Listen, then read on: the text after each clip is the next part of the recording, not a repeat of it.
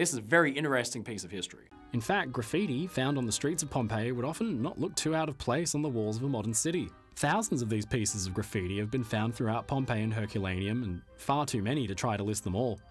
But some notable examples of the sort of thing that was written on the walls and preserved for millennia are Phileros is a eunuch, and Gaius Primidius Dipylus was here, and Figulus loves Idae. There are also dozens of profanity ridden, crude examples which you'd expect to find today on the back of a bar's bathroom door, but I won't go into those. One man, Successus, wrote that he was a weaver who loved the innkeeper's slave Iris.